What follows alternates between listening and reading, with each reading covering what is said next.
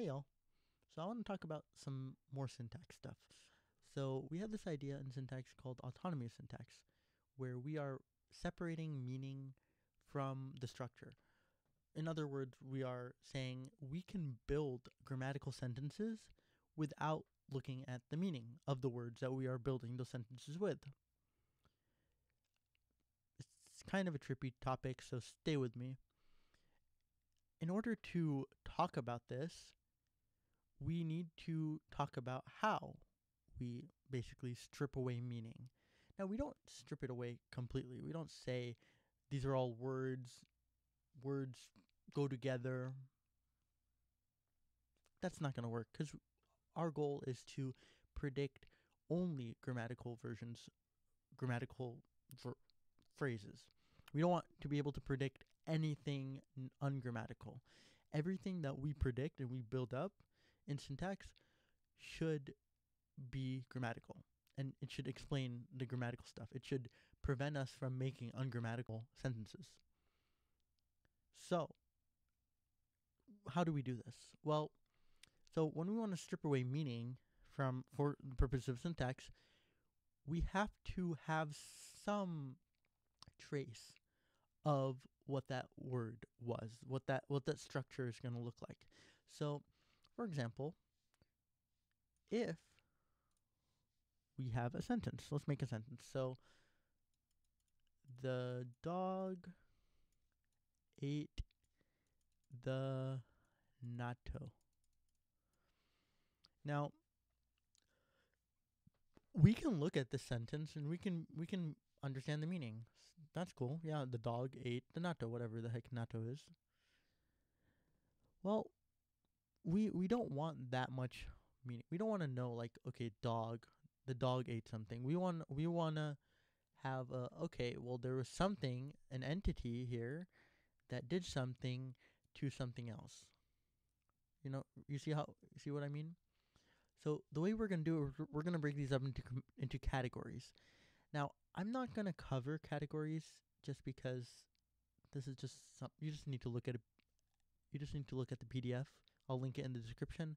Just look at it, apply the test. You'll be, you'll be able to find come up with categories. The main the main point I want to iterate is that these are not simple.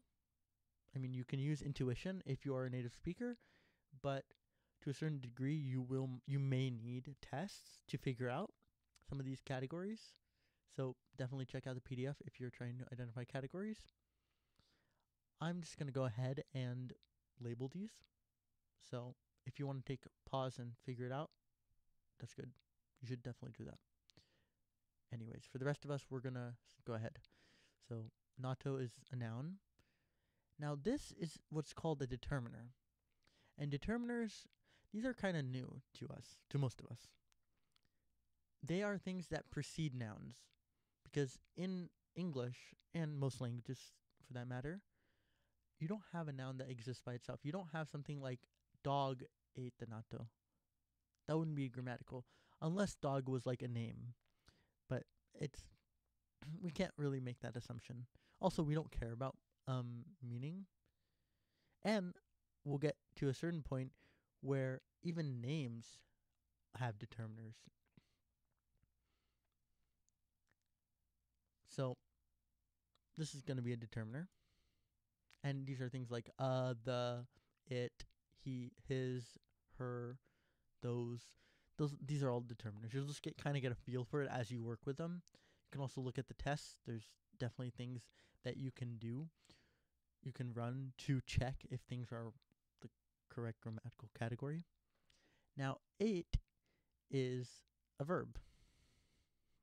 And it is an action, but there are, of course, things that are verbs that are not actions. So keep that in mind. Just if you're not sure, use the tests. Dog is a noun, the determiner. So now we have the categories. So to to a point, we don't really need these words so much. Now, for the purpose of our trees, we're still going to use them just because they're kind of helpful. But let's start building a structure. So how do we build a structure? Well, we build a structure by an operation called merge.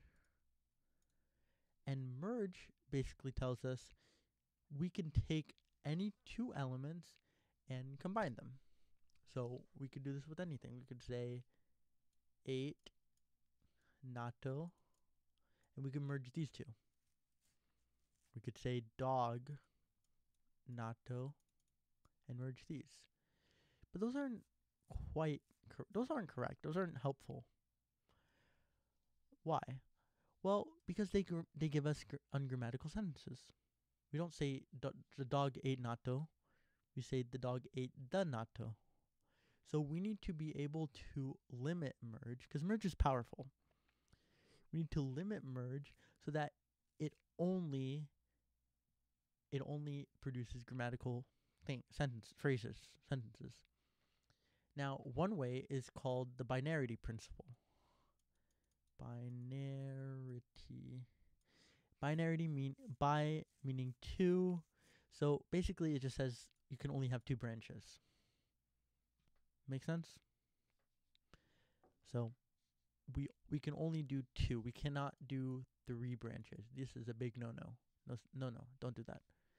The second thing is that we um what is the second thing? We have this thing called headedness where we are going to combine and what the thing that's the head is going to be is going to reach what's called maximum projection. And it's a really confuse it's it's a little confusing at the beginning, but bear with me. So, if we have like the natto and we we merge these, one of these elements, so this is a D, this is an N, one of these is going to go to this part, and this is called the maximum maximum projection. And That just means it's like the the top of that tree. So, which one is it? Well, depends on the language, but in English, English is head initial. So the head, which is the beginning of that little like phrase, that's going to be the one that reaches maximum projection.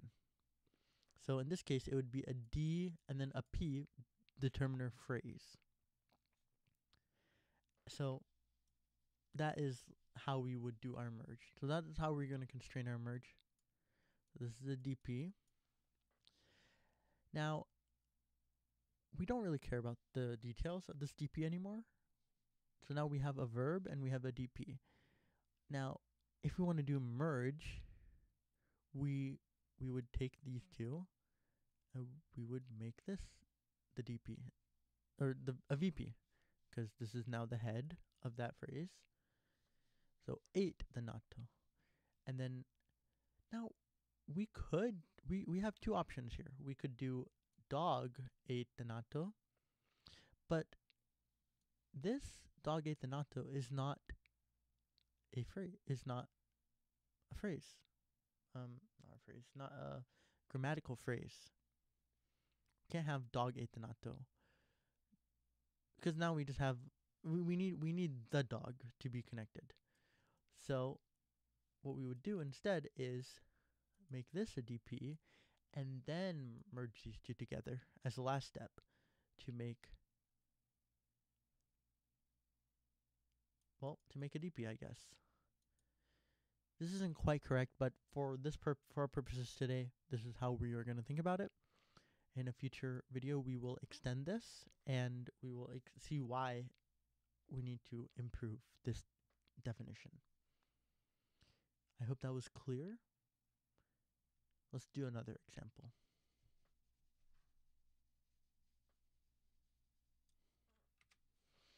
So,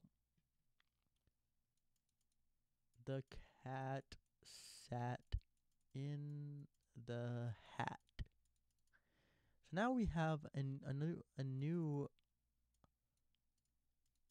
we have a new category, which is this in. This is a preposition.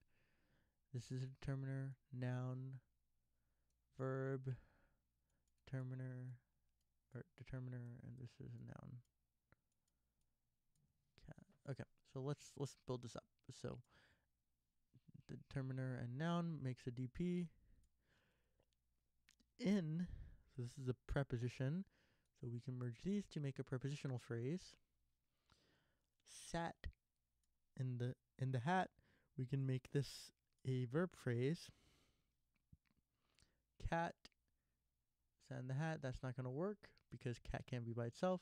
We need to merge these two together first. So we're going to say this is a determiner phrase. And now this merges to be, for our purposes now, a determiner phrase. Again, we are going to change this later, so I'm going to put a little asterisk here just to mark that this is not correct.